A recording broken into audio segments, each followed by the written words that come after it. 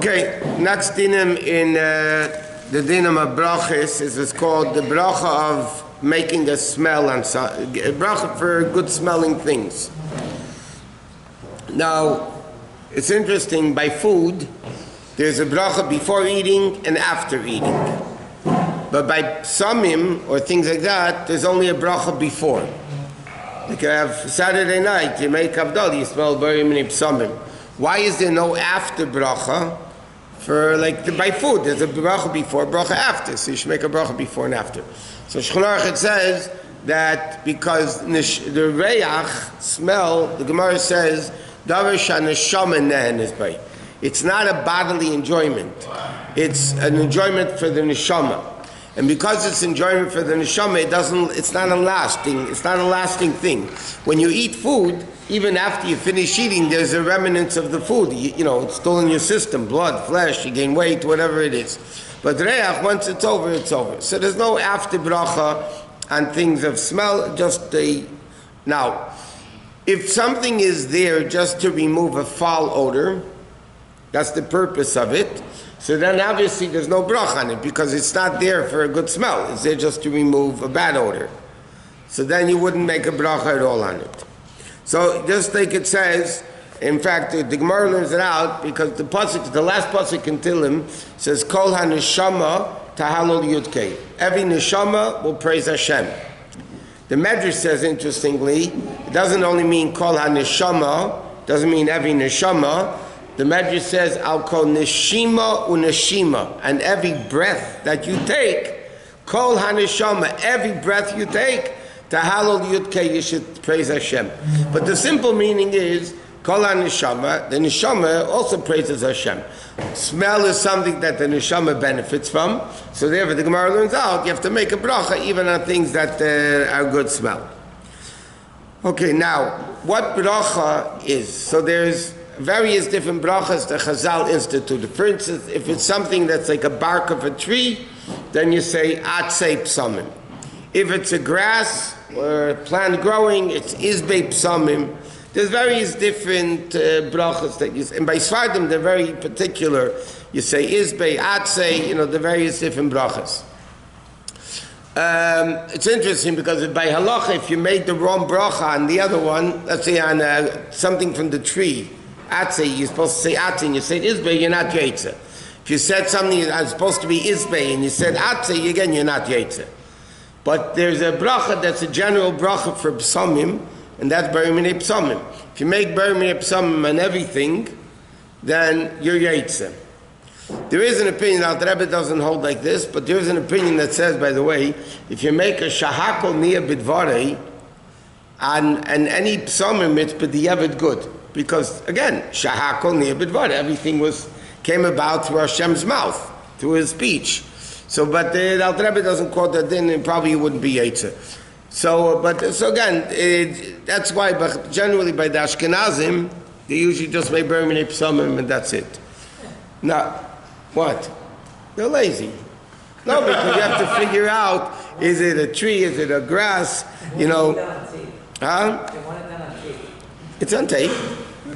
It's not a problem. He says like this: How are you supposed to know? If, one second. He says, one second. How are you supposed to know uh, if it's a vegetable or a grass? So he says like this: If it's hard and it stays from year to year, then it's atze. And those that it's soft, then it, you know, then it's isbei some. That's the general rule. Um, okay, what happens if none of the above? So then you make a Berminip Summit. Um, okay, that you not yet. Uh, okay, um, now. You could say it on perfume. In fact, uh, there's a din. What happens if a guy walks into a perfume store? A guy walks into a perfume store. So technically, you make a bracha. You can make a bracha because it smells good. Now, the storekeeper, interestingly, he's in and out the whole day. So the halach is he only makes it the first time he comes in in the morning. First time he comes in in the morning, he makes the bracha. But if it, in fact, there's a whole discussion earlier about uh, if somebody's smoking a cigar pipe or cigarettes, uh, why, why, is there a bracha on that? They all pass there is no bracha uh, on uh, cigarette smoke, pipe smoke, cigar smoke, marijuana. That stinks, but anyway, but uh, there's no uh, good, you don't make a bracha on those things. Technically, if there's nothing else, yeah. If there's no, the custom is to use cloves. By the way, I don't know where the custom came from, but that's the custom. But uh, if somebody, yeah, if somebody doesn't have, uh, you could take a jasmine leaf or you know, and a rose or something like that. You can do it uh, for Saturday night also, or anytime you walk into a place. By the way, you walk by, and sometimes there's a jasmine bush, yeah and you're walking down the sidewalk, there, there's a jasmine bush, and taka smells good. So then, then you can make a bracha. You're supposed to make a bracha, either probably is psalmim or whatever it is, or you can make very many psalmim. Yeah. If somebody wants to smell something, so what happens if you don't know if it's going to smell good or not? You don't know. So then you can't make a bracha because it might be a bracha in vain if it doesn't smell good. But something that gives off a good smell, you have to halachically you have to make a bracha. You make a bracha right after. If it smells something, no, you bracha. Something you have to make before. Even food, by the way, if you're in the middle of eating, you can still make a bracha. But if somebody finished eating, right? That a fruit, they didn't make a bracha. Now they finished the fruit. You can make a hates on the fruit. You finished eating already. What? Well, what? Yeah, that's if it's, they say, if it's a fruit that's edible, even if it's together with other things, then you make either a noisein, a shenosan, the Alter Rebbe says a shenosan, reach tebe But over there, it's only if your intention is to smell it. But if your intention is to eat it, and meanwhile you're picking it up to eat and it has a good smell, then you don't make a brach on the smell. But uh, for instance, in esrig, the, people don't. But if you pick up an esrig and it has a good smell, you should say this bracha or very minip some at least. Uh, people don't. I don't know. Because I guess because mitzvahs no, no, uh, What? People, when people bring like some pesamim for the young people. Yeah. So if you smell it, you make a bracha. Right. You wait 20 minutes after, you want to smell it again, you make another bracha? No, if you have in mind that you're going to be doing it throughout the day and you're in the same place and the same thing, you don't have to keep making a bracha. But sometimes they have this, they have this, this really strong stuff, not stamp summon, they, huh? Smelling sauce. Smelling sauce, yeah, those, that type of stuff. So that you don't make a bracha and it doesn't smell good. It wakes you up maybe, but it doesn't, it doesn't, it's not there for a good smell. It has to be there for a good smell. So let's say if somebody doesn't like the smell of cinnamon, like so then you shouldn't make a bracha. what? Flowers also you should make a bracha. If you have roses, you walk by a rose bush, you take a rose and smell it, you should make a bracha. Is it, is it based on liking or not liking or smell? Well, it's again, if it has a good smell, you make a bracha. But if this guy says it's a lousy smell, it doesn't matter. It's just I don't know. It could be. I don't know. It could be. See, eating is something else. Eating, your body benefits whether you like it or not. Bracha on food is not only if you like it or not. Food is you make a bracha. If you're eating it, you can hate it and, the, and despise it, but you're eating it, you still make a bracha, right? Except on water. But uh, other smell is depending on the smell. If you like the smell, you make a bracha. If you don't like the smell, maybe you don't make a bracha. Is it only the first? What? Is it only the first sniff? Because you, you, you, walk by someone and you smell something like, oh, there's something good, then you go say a bracha on it. I can't do that. Then you can go back and smell, make a bracha and smell it. Yeah. Yeah. What? Are you his uh, spokesperson? Yeah. So you say the bracha and you smell it, it doesn't have a smell. Then you have to say Baruch Shem K'vod Malchuso L'olam Va'ed. If you want, if you need to know if it has a smell or not, you can smell it a little bit just to see if there is, and then you can make a bracha for enjoying the smell. What? And then smell it again. What? It depends. If it lasts from year to year, the, the branch of it, and you say atip some, not isbip psalmim. I tried before you walked in. I said, uh, generally speaking, Ashkenazim usually just make very many psalmim. Again, because they're lazy. I think of it as efficient. Okay, next bracha over here is the bracha of uh, Shechianu. Okay? Now, the, the Mishnah in bracha says, um, if you see a good, a new fruit, or if you see this, if you see that, you make a bracha Shechianu. The pearl, the halacha is practically speaking, you don't make a bracha when you see the fruit. The custom today is to make a shechianu when you eat the fruit. Okay? Now, what's this concept of making a bracha, shechianu? Anything that brings uh, enjoyment to the person, satisfaction to the person. So then you make a bracha shechianu. Um, if it's uh, okay, now if it's good for him and others, then you make a teva meitiv. Now, generally speaking, shh, generally speaking, the poskim write that today you see people are not so particular in these types of brachas, and they write a lot of these types of brachas are optional. I'll give you an example. In Shulchan it says, if you see an ocean, a big ocean, you have to make a bracha. Okay?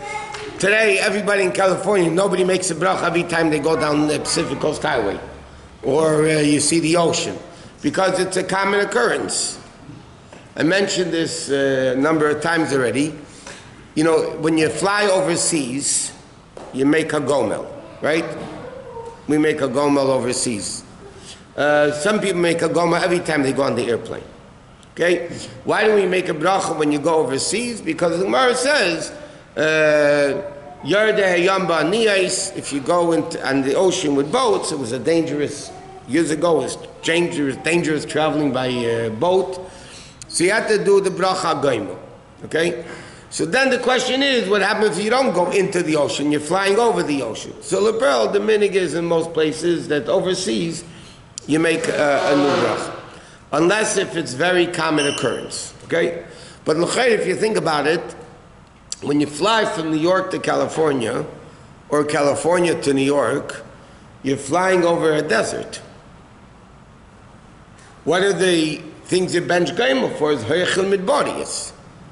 You go over in a desert, just like you go in the yam, you make a gaimel. When you go through a desert, it was also dangerous. Years ago, it was very dangerous. So you make a gaimel. So the question is, if you fly from New York to LA, or you go over Nevada, right? So you're going over a desert. There's deserts there, is uh, whatever. So why don't we say a bracha of a gaimel when we fly from New York to LA?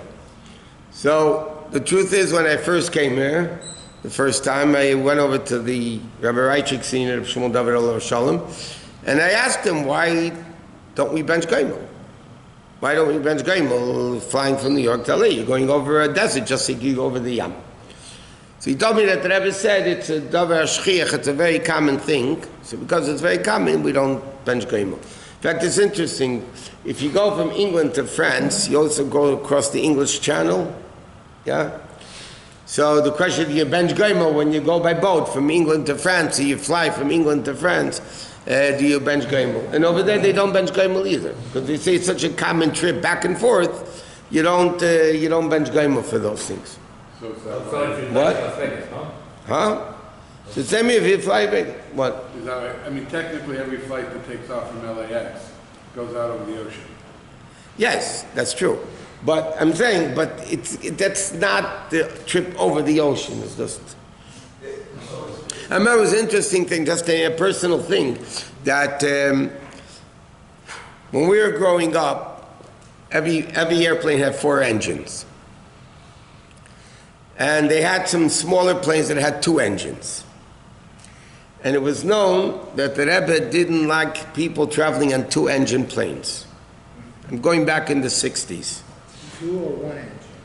Two also, no. The Rebbe didn't like two engine planes and definitely not one engine plane because it wasn't safe, okay?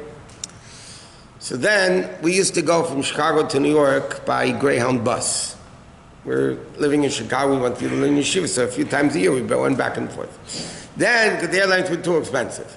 Then the airline started was going with youth, youth fare. Youth fare was the airplane, if you were a student uh, under a certain age, so you're able to fly standby half price of the airline ticket.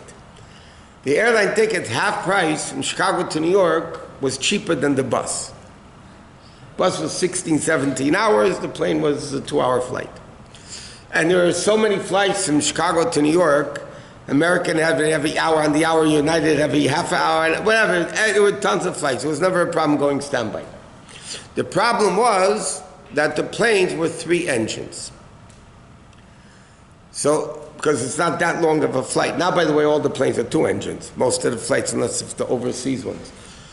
So I remember then, it was my older brothers wrote into the Rebbe about going on a three-engine plane. We knew that the Rebbe didn't like two-engine. The Rebbe wanted four-engine. So he wrote into the Rebbe, my older brother wrote into the Rebbe, I mean, we wrote it together, but he wrote it. We wrote into the Rebbe that, uh, this is the story, most planes are three engines today. It in that time. And we asked the Rebbe if it's okay to go on it. So the Rebbe, it was a settled. So the Rebbe answered, he underlined, most planes are three engines. And he, in other words, because that's a very important factor to it, and he said it's fine. So used to go on three engine. But today, all the planes, even to New York, most of them are two engines. So again, it's a different type of story. Number one, that's most of the flights, and it's much safer than it was those years. What? With I understand, but over there you need a passport, you need is going overseas. It's, it's a whole different story.